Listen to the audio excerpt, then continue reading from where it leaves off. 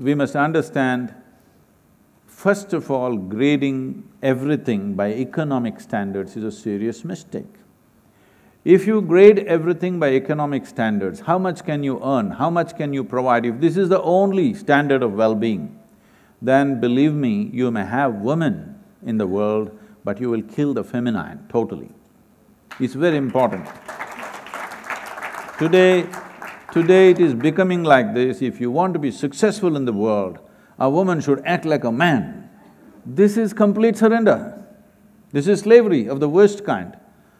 It's very important we have feminine in equal proportions as masculinity to make this world beautiful and our lives beautiful.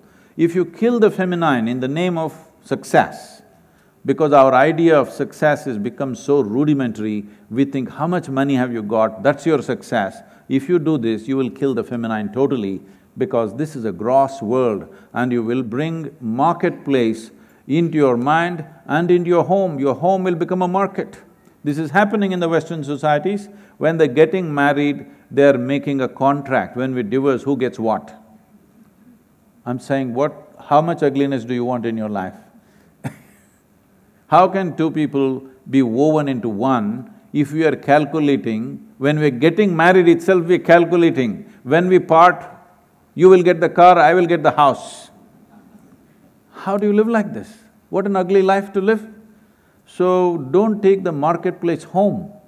This is what will happen if you make your standard of life purely economic.